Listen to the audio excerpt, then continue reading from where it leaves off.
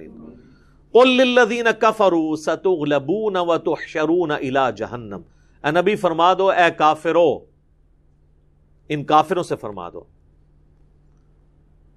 कि अनकरीब तुम इस ज़मीन में भी मगलूब हो जाओगे यानी अल्लाह ताला हमें गलबा देगा कादसिया और यरमूक होनी है मुसलमानों को एक गलबा मिलना है और अल्टीमेटली एक गलबा यह है कि क्यामत वाले दिन तुम्हें अल्लाह के हजूर जमा किया जाएगा और जहन्नम की तरफ़ हाँ जाएगा। वह तो शरून इला जहन्नम। वह बिकसल मिहाद और क्या ही बुरा ठिकाना है।